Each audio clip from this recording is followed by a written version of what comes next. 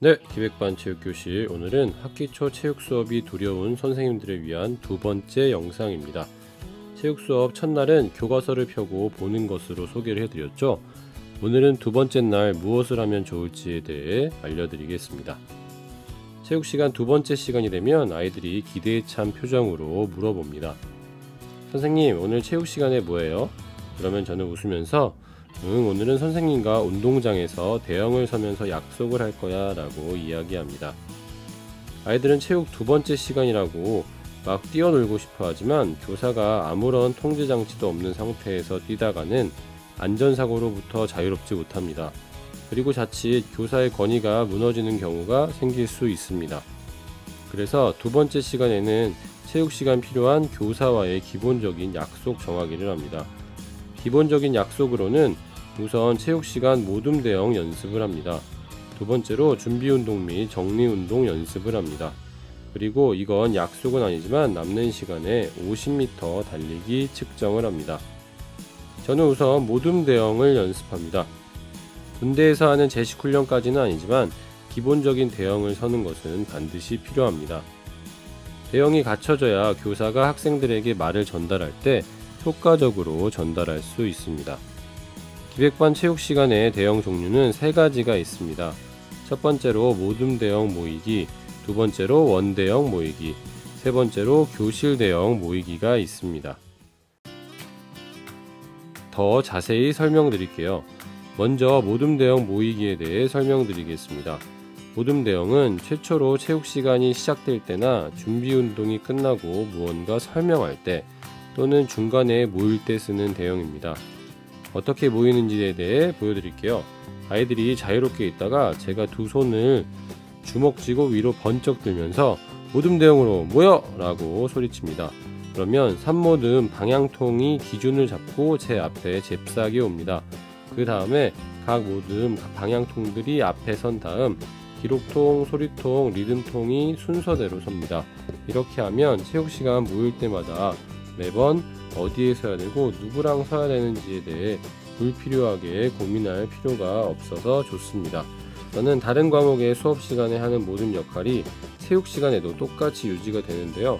방향통, 기록통, 소리통, 리듬통이 무엇인지 모르시겠다면 오른쪽 위에 카드 뜬 것 클릭하시고 보고 오시면 좋을 것 같습니다. 두 번째는 원대형 모이기입니다.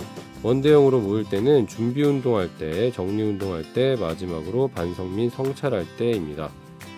원대형으로 모일 때는 제가 머리 위로 동그랗게 원을 만들고 원대형으로 모여! 라고 소리칩니다. 그러면 저를 기준으로 오른쪽 반시계 방향으로 1모듬, 2모듬, 3모듬, 4모듬, 5모듬, 6모듬 순서로 섭니다. 그리고 방향통, 기록통, 소리통, 리듬통 순서로 섭니다.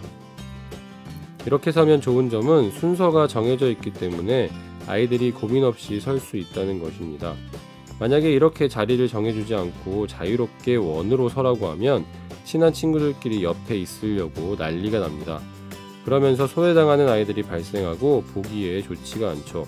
그래서 이렇게 아예 모둠 순서 및 모둠 역할로 자리를 정해버리면 체육 시간이 윤택해집니다. 세 번째는 교실 대형 모이기입니다. 교실 대형으로 모일 때는 모든 별로 토의할 때입니다. 체육 수업 중간에 모든 별로 노하우 공유하거나 전략 토의할 때 필요합니다. 교실 대형으로 모일 때는 제가 손을 쫙 펴고 교실 대형으로 모여! 라고 소리칩니다. 그러면 학생들은 교실에서 책상이 있는 것처럼 모입니다. 방향통, 기록통, 소리통, 리듬통 순서대로 교실과 동일하게 모이는 거죠. 그 다음 서로 얼굴을 본 상태에서 노하우를 공유하거나 토의하게 됩니다.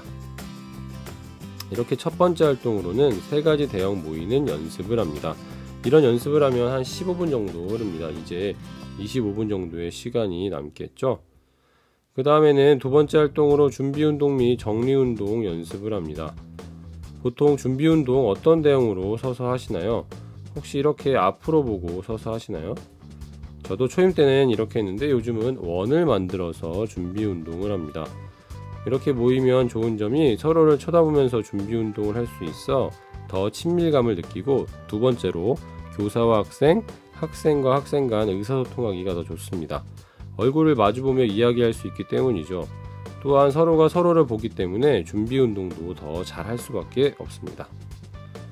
준비 운동은 크게 두 부분으로 나누어져 있는데요. 첫 번째는 관절 풀기이고 두 번째는 스트레칭을 합니다. 준비 운동은 보통 심장에서 먼 곳부터 하라고 합니다. 그래서 저는 발목부터 시작해서 머리 위로 올라갑니다. 더 자세히 설명드릴게요. 관절 풀기의 원칙은 아래에서 위로 하는 것입니다. 처음에는 손목, 발목 돌리기부터 시작합니다.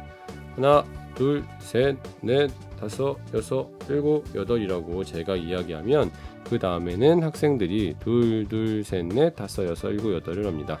그렇게 올라가서 무릎 굽히며 앉았다가 펴기를 하고 허리 돌리기를 한 다음 어깨 관절을 풀어줍니다.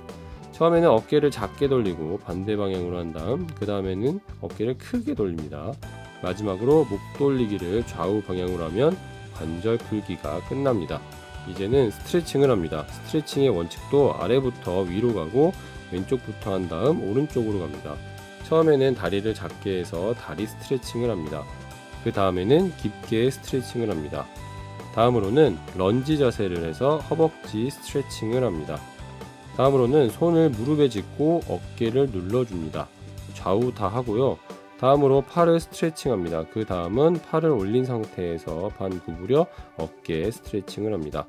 다음으로 손을 쫙 올려 키 큰 스트레칭을 하고 그 상태에서 왼쪽으로 굽혔다가 오른쪽으로 굽힙니다.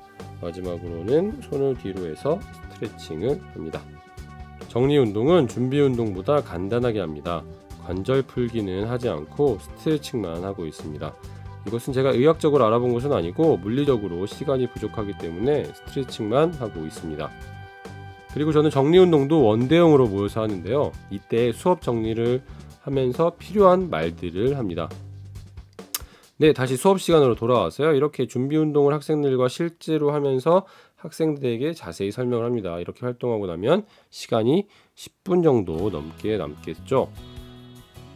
그러면 이제 남은 시간에는 50m 달리기랍니다. 만약에 시간이 남지 않으면 이 활동은 하지 않아도 됩니다. 그래서 플러스 알파예요. 50m 달리기 측정을 하는 이유는 체육 시간 진단 평가 성격을 갖는데요. 달리기는 움직임 기술 중에서 가장 기본이 되는 활동입니다. 어떤 친구가 달리기가 빠르고 느린지를 알면 체육 시간 모든 편성할 때나 앞으로 있을 운동에 팝스에서 이 결과들이 유용하게 쓰일 수 있습니다. 달리기 측정을 하기 위해 키 순서대로 서게 한 후 비슷한 키의 친구들끼리 뛰게 합니다. 그렇게 하면서 교사는 시간 측정을 간단히 하고 학생들에게 알려주는데요. 시간 측정은 스마트폰으로 간단하게 하면 됩니다. 물론 초시계를 준비해서 정확하게 하면 좋지만 그렇지 않더라도 그렇게 크게 문제는 되지 않습니다. 아이들 입장에서는 두 번째 체육 시간에 숨차게 뛰었다는 느낌을 주는 것이 중요하니까요. 그래서 시간이 남으면 하는 활동입니다. 이렇게 해서 체육 두 번째 시간이 끝납니다. 네, 기백반 체육교실 오늘은 학기 초 체육 수업이 두려운 선생님들을 위한 두 번째 영상으로 체육 수업 두 번째 날은 무엇을 할지에 대해 소개드렸습니다. 다음 시간에는 세 번째 날부터 그 이후까지 어떻게 하면 좋을지에 대해 소개드리겠습니다. 감사합니다.